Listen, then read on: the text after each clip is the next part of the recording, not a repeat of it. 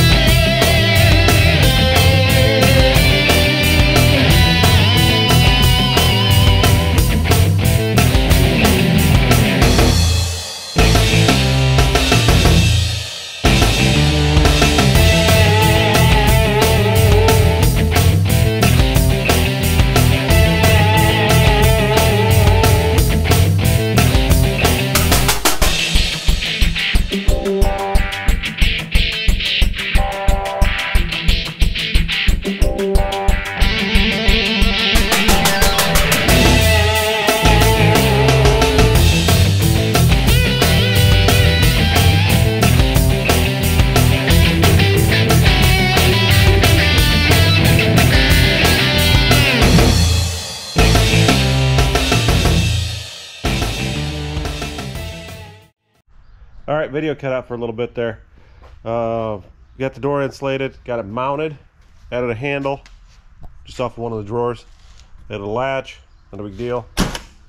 Um, added this fire rope. Uh, buy this stuff at Menards or any box store, just glues on.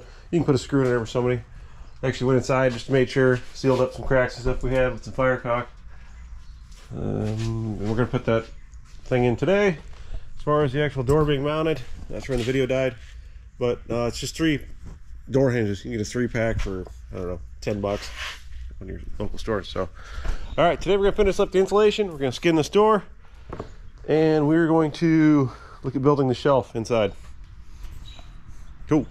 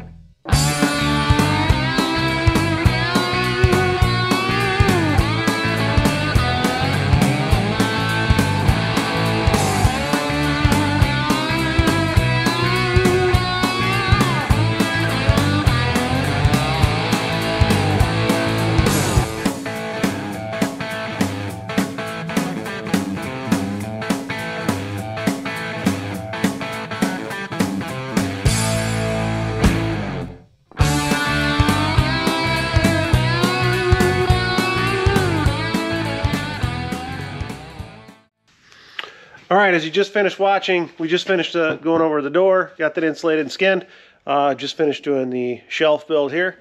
Uh, coming up next, very soon, we're going to get into the electronics and actually show you this and that guy over there uh, working. And that way you can see everything running. And yeah, you can have a look at how it all comes together. So cool. Stay tuned. Like, subscribe. We'll see you. Thanks.